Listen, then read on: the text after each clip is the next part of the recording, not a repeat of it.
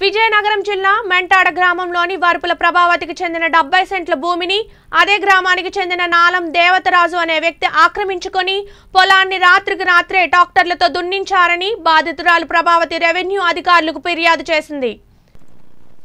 విజయనగరం జిల్లా మెంటాడ గ్రామంలోని నివాసం ఉంటున్న వరుపుల ప్రభావతికి కొన్ని సంవత్సరాలుగా భర్తకు వారసత్వంగా వచ్చిన భూమిని సాగు చేసుకుంటూ జీవనం కొనసాగిస్తూ ఉంది. అయితే ఆ భూమిపై అదే గ్రామానికి చెందిన నాలం దేవతరాజు అనే వ్యక్తి కొన్నపడింది. దీంతో ఎలాగైనా ఆ భూమిని దక్కించుకోవాలని ప్రభావతిపై దౌర్జన్యానికి దిగాడు.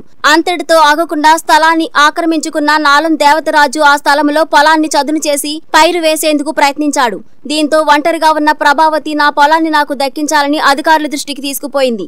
ఎప్పటికైనా దేవతరాజు నుంచి నాకు ప్రాణహాని ఉందని అధికారులకు ఫిర్యాదు చేసింది.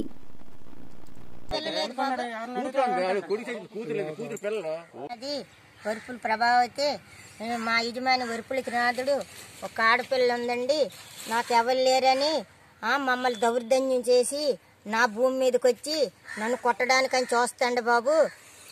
మీరు పెద్ద మనుషులు కదా మండలంలో కూడా తీర్పు అయింది పోలీస్ స్టేషన్ కూడా తీర్పు అయింది. ఎంఆర్ఓ దగ్గరికి వెళ్ళింది ఈ తగువు.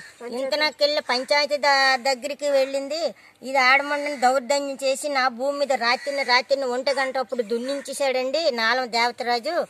మీరేదో మాకు చెప్పాలి తండ్రి అనేసి కోరుకుంటానండి మా నా మీకు నమస్తే అండి బాబు. మీరు తీర్పు ఇవ్వాలి స్వామి అనేసి మిమ్మల్ని వేడుకుంటాను బాబు. నా భూమి దున్నించుకొని రాత్రిని రాత్రిని ఒంటి గంట అప్పుడు దున్నించుకొని మళ్ళీ నన్ను కొట్టడానికి వస్తాండ బాబు? ఇదిగో మీరు పెద్ద మనుషులు మాకు తీర్పు తీయాలి తండ్రి అనేసి మారాడు గ్రామం గ్రామంలోని ఒరుపుల ప్రభావతి అండి మా అమ్మగారు వరుపుల ప్రభావతి కూతురునండి నేను. వరుపులు తవ్వడం మాకు వీలు లేక బ్రతుకు తెరుగుతూ నాకు పెళ్ళి అయిపోయిందండి ఇద్దరు పిల్లలండి. మా ఆయన నేను వైజాగ్లో ఉంటున్నామండి బ్రతుకు తెరుగుకి వెళ్ళిపోయామండి. మా అమ్మగారు మెంటాల్లో ఒక్కలే ఉంటున్నారండి. మా అమ్మగారిని చాలా ఈ భూమి గురించి చాలా ఇబ్బందులు పెడుతున్నాడండి. అసలు రాత్రిపూట దున్నియడం మాట మాటకి కోర్టు ద్వారా వెళ్ళామండి అన్ని దిక్కులో వెళ్ళామండి ఏ రా మొన్న రాత్రి అప్పుడు ఒంటి గంట అప్పుడు దున్నేశాడండి. మా అమ్మగారిని అడగడానికి వస్తే కొట్టడానికి వచ్చాడండి.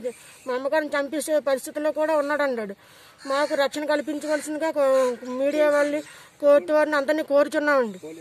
పోలీసులు కూడా కోరు కోరుచున్నామండి. అలాగే కోర్టు ఎంఆర్ ఆఫీస్కి కూడా వెళ్ళామండి. ఇలా జరు ఇలాగ జరుగుతున్న కొలది ఎంఆర్ ఆఫీస్కి వెళ్ళామండి కోర్టు ద్వారా పోలీస్ స్టేషన్ కూడా వెళ్ళామండి. మరి ఇలా ఉంటుండగా కోర్టు ద్వారా కోర్టుకి కోర్టుకి నడుస్తున్నామండి. వాయిదాలు వాయిదాలు జరుగుతున్నాయండి. పోలీస్ స్టేషన్ కూడా వెళ్ళామండి. మళ్ళీ పంచాయతీ ఆఫీస్కి కూడా వెళ్ళామండి. అన్ని తగులు అయ్యామండి కానీ ఉన్నా కూడా అర్ధరాత్రి ఒంటి గంట అప్పుడు దున్నించాడండి భూమి. మేము ఎవరం లేవండి. వైజాగ్లో ఉంటున్నానండి. నేను నా పిల్లలు నా భర్త భర్త దగ్గరికి వెళ్ళిపోయామండి. మా తమ్ముడు లేడండి మా నాన్నగారు చనిపోయారండి మా తమ్ముడు చనిపోయాడండి. ఇప్పుడు మా అమ్మగారు ఇప్పుడు ఒక్కలే ఉంటున్నారండి ఇంటి దగ్గర.